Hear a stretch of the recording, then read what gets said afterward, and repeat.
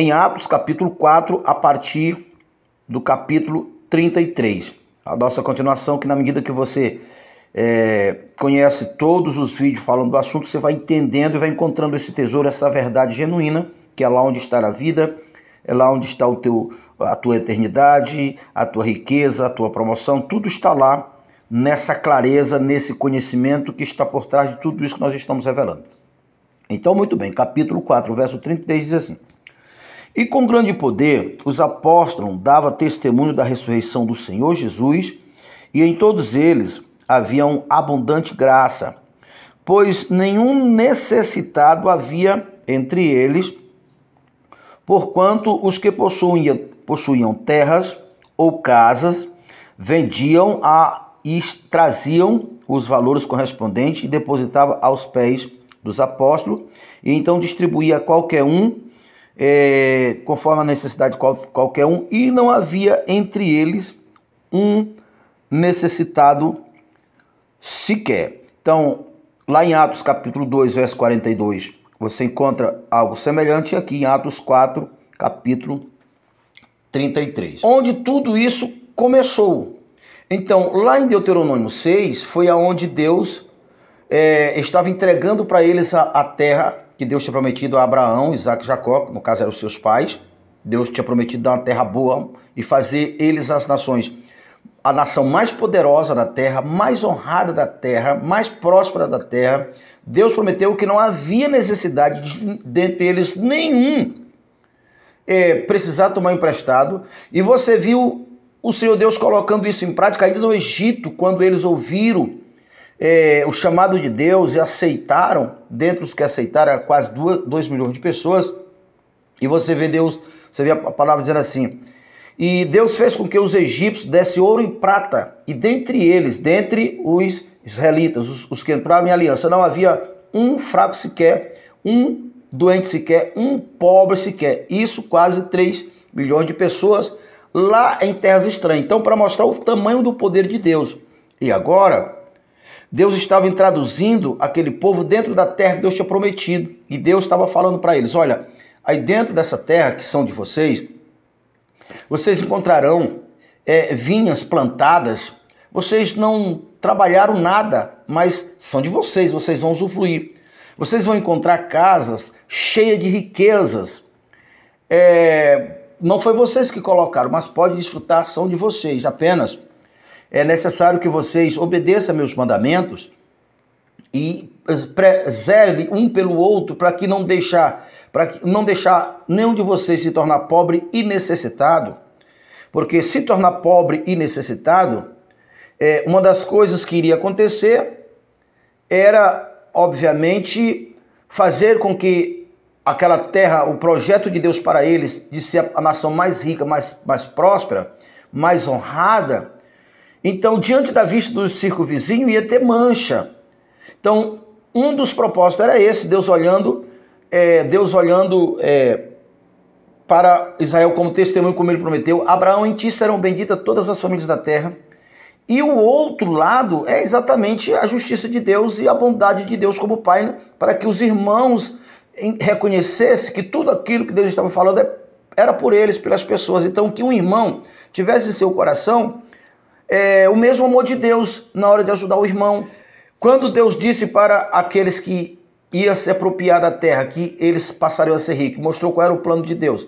A cuidar do seu irmão. Se o seu irmão agisse de má fé, Deus iria limpando para que esse comportamento não se instalasse em Israel. Mas se porventura ah, aconteceu alguma coisa, ou num erro de um irmão que errou e, é, e precisou pedir emprestado ao outro, precisou do outro. Então, nesse caso, Deus disse: vocês precisam emprestar, você precisa acudir à necessidade do irmão, não é? Então, o que, que aconteceu? Eles prosperaram, cresceram, se tornaram grandes, mas esqueceram do Senhor. Esqueceram do Senhor e ninguém estava obedecendo. E agora, os ricos, eles estavam usando das suas influências para oprimir os pobres. E você vê isso exatamente é, no livro de, de Tiago, não sabeis que Deus escolheu os pobres desse mundo para tornar rico na fé, capítulo 2 verso 5. Não sabeis que são os pobres que oprimem, ou seja, não sabeis que são os ricos que oprimem os pobres. Então, é, eles se afastaram e em vez de cooperar, ajudando um irmão um ao outro, estava usurpando um do outro. Os poderosos, os mais que tinham mais posses, estavam usando é, de uma forma opressora do, do outro, seus irmãos. E aí o que, que aconteceu? Deus se afastou.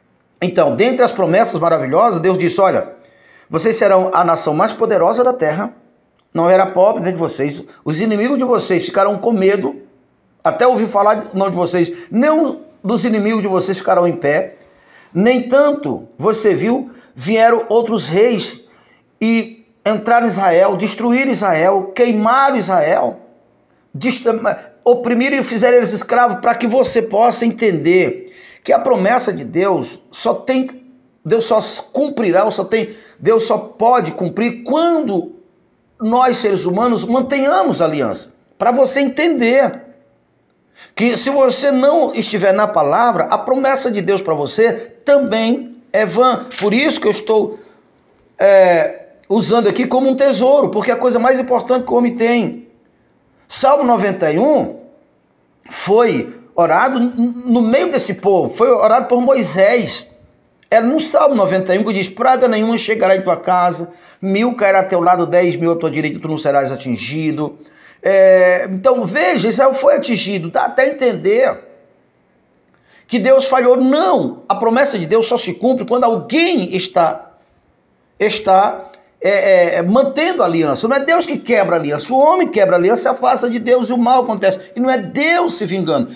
Tudo isso está na Bíblia e eu estou aqui para te convencer que em nossos dias esse é o mesmo padrão. Se você se afastar da aliança, as palavras não se cumprirão em você. Então, muito bem, entendendo essa primeira parte, eles se afastaram de, de, de, de Deus, a aliança foi quebrada. Então, agora era cada um por si. Obviamente, aqueles que, que não tinham usava também de má fé. Aí chegou o tempo de Jesus. No tempo de Jesus, cada pobre era um testemunho da aliança quebrada, que era uma mancha diante da promessa de Deus. É, Israel oprimida, dominada, escrava, sendo que Deus disse que Israel seria a nação poderosa, mais poderosa da terra. Ela servia de exemplo para o mundo inteiro. Em ti, Abraão, serão benditos todas as famílias da terra. Então, para todo lado que se olhava, se via testemunho oposto e tudo isso era vergonha para Deus. Então, o que, que aconteceu? Veio Jesus começando a contar as parábolas. Tudo isso para fazer as pessoas entenderem e voltar para a aliança. E agora, dentre as parábolas, tem a parábola do rico e do Lázaro. Onde o mendigo estava? Na porta do rico. Veja na porta do rico. Aí as coisas começam a encaixar o porquê que um estava na porta do outro. Porque o mendigo que não fez nada, nada mais era o testemunho que comprovava a razão de haver muitos pobres. E agora estavam os dois do outro lado da vida e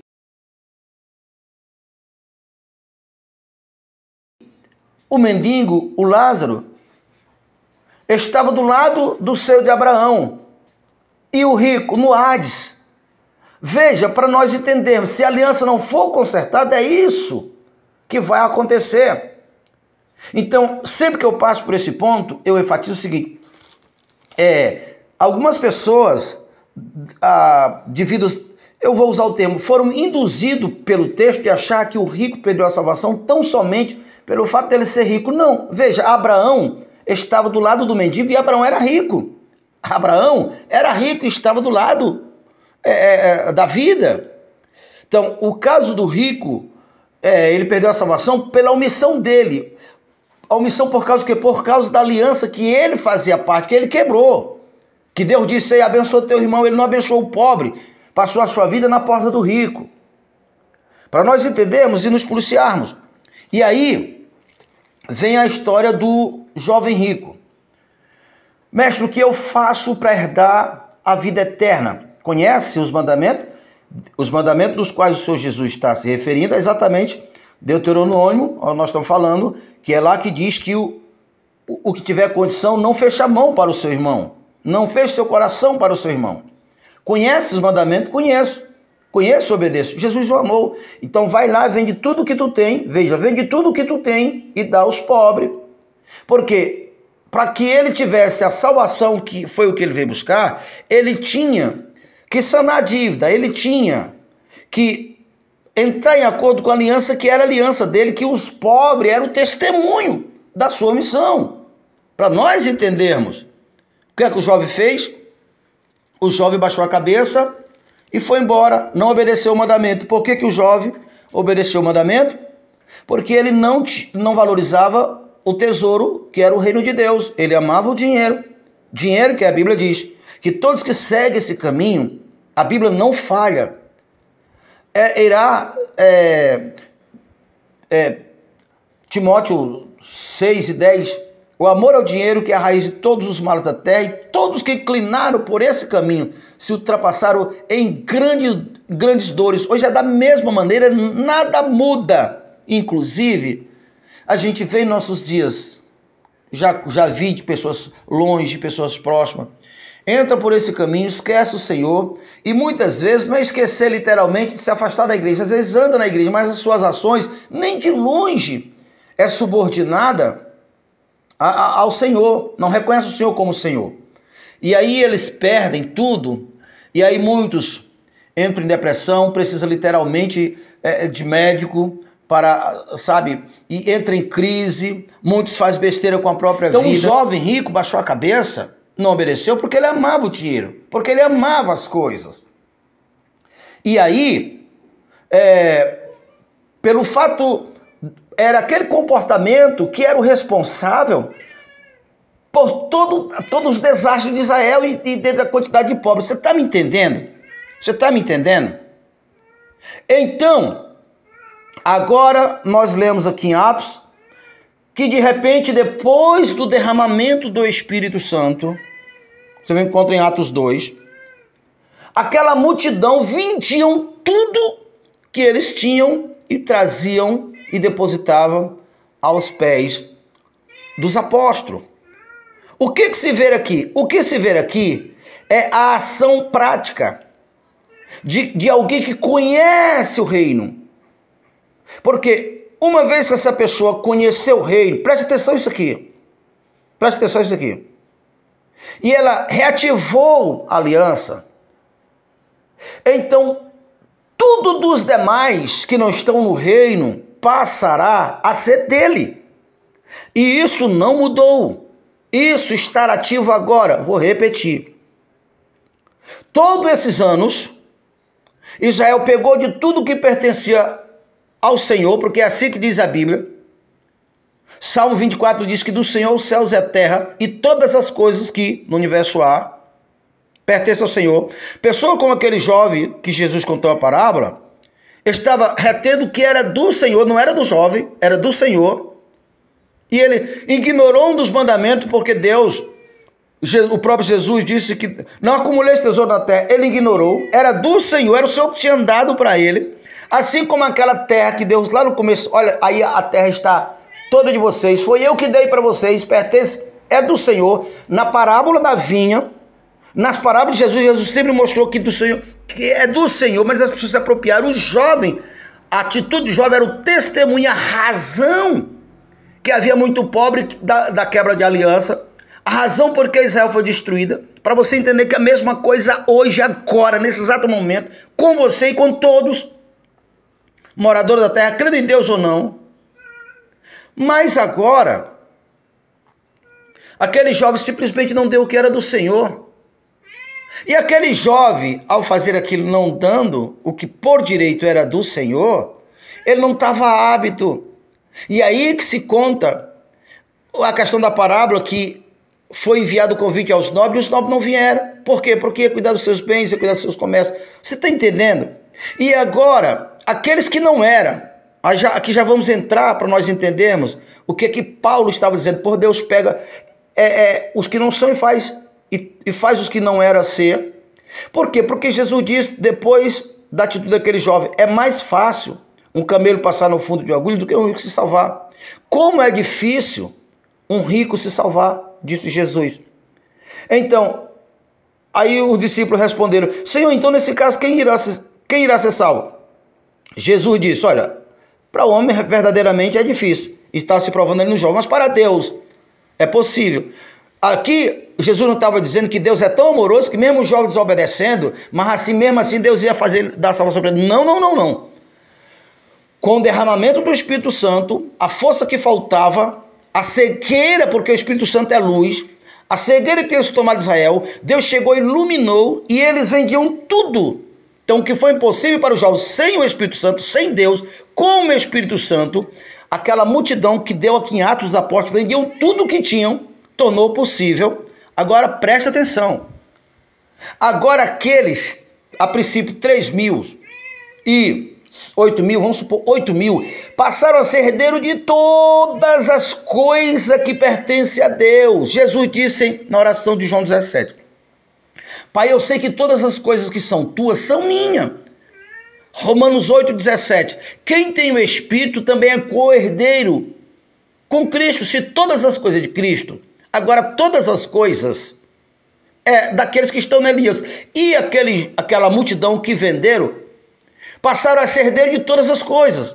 Agora aqui, o que precisava Deus fazer com eles, só no relacionamento, Deus habilitar eles, capacitar eles, para que eles também, uma, uma vez que se apropriou da grande riqueza não se afastasse. É por isso que aqui Deus sempre está controlando. É por isso que os apóstolos falam: olha, cuidado, é, para a tua ambição não, não querer ser desenfreada e querer muito mais do que a tua capacidade permite. Você quer mais? Então o Tiago disse: olha, você vai ser testado, preparado, provado e vai receber na medida que da tua capacidade, porque Deus ele não dá além do que a nossa capacidade permite. Então, precisa entender aqui. Uma pessoa que entra em aliança hoje passa a ser herdeiro de todas as coisas, por isso é o caminho mais fácil, mais coerente. Para um oprimido, um pobre se tornar rico. Então, uma das coisas que você precisa entender, e aí verá o de fato que aqui está o tesouro, é isso.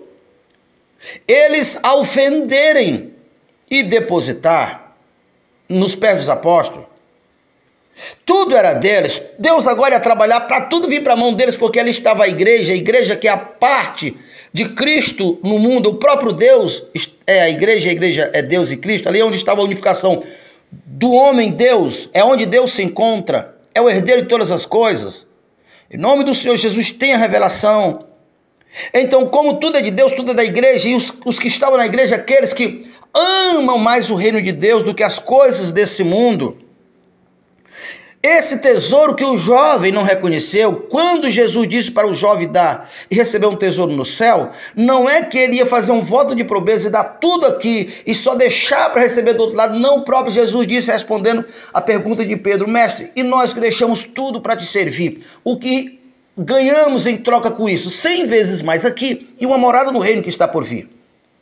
Então aquele jovem não reconheceu o tesouro. Estou falando para você reconhecer não é uma questão de expertise de A ou de B. Deus, Jesus, que foi o que mandou venderem tudo, não é interesseiro, não é desonesto, não queria tirar vantagem de ninguém. Mas quando o Espírito Santo vieram, que encheram eles, eles abriram os olhos com os olhos abertos, eles viram. E agora?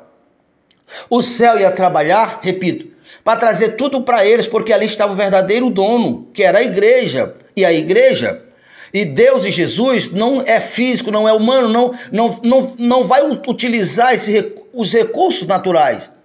Ele opera nos poderes espirituais, porque ele governa tudo, fazendo com que aquela igreja fosse mais e mais rica. Por que, que você acha que a igreja sustentou até hoje com tantos inimigos? Porque é Deus que é o dono da igreja, as portas do inferno não prevalecem. Agora vamos lá para duas coisas para nós concluirmos. Então, Assim como o jovem, o mendigo pobre, foi a testemunha da omissão do rico, foi a causa da, da, da do, do rico perder a salvação, Ato dos Apóstolos que nós acabamos de ler, pode se tornar, não, vai se tornar o testemunho que vai denunciar na nossa geração o, o, o, aqueles que se dizem de Deus, mas não faz não ama com essa intensidade. Então, essa intensidade se torna, tipo assim, um filtro para os que herdarão a eternidade, só herdarão se se assemelhar no comportamento e na atitude. E para chegar a esse ponto, só chegará se encontrar o tesouro do reino dos céus. Esse tesouro que é escondido, Jesus diz: vende tudo que tem para comprar o tesouro. Entendeu? Agora estamos nós, pobre, sem força, sem habilidade, gigante para todo lado, homens preparados intelectualmente, homem que sabe manusear os, o, o, o mundo financeiro, homens que cada passo que dá, sabe, é, está sempre tomando todos os caminhos e, e, e, é, e, meio pelos quais as riquezas chegariam até nós, que jamais nós conseguiria pela nossa força natural. Então estávamos condenados ao fracasso da pobreza eterna em comparação com os intelectuais, com os homens preparados, com aqueles que se auto se desenvolveram, que sabe fazer mentalização, que tem, é, sabe atrair as leis naturais, que tem ocultismo, que tem macumbismo, que tem um monte de coisa. Nós estava ferrado. Escute. Aí vem nós que não éramos, é disso que Paulo está falando, que não podia, que não tinha, mas cremos em Jesus. E quando cremos em Jesus, é pouquinho, é. Mas é o pouquinho que são os donos, que a princípio começou com 8 mil. Você está entendendo? E agora é mais fácil, é mais fácil para o reino pegar os que não são, que somos nós, os que não tinha, que somos nós. Mas cremos em Jesus, mas ouvimos o chamado que o jovem rico não fez, o que o, o, o rico do Lázaro não fez. Entende o que eu falo? Então, com toda a nossa pequenez, com toda a nossa insignificância, cremos no reino. o reino é nós. Sabe o que vai trabalhar, meu irmãozinho? É o céu. E aonde o céu entra, eu duvido, ele confunde os sábios. Ele torna-se louco a loucura do mundo. Ele pega o que não era e faz ser. Ele pega o pobre e faz ser rico. Não saber que Deus pega o pobre necessitado e faz esse pobre necessitado sentar com os príncipes. Não sabeis que Deus pega a mulher viúva que não tinha filho e faz ela ser mãe de filho. Então, é ou não é um reino, é ou não é um tesouro quando se conhece o reino dos céus?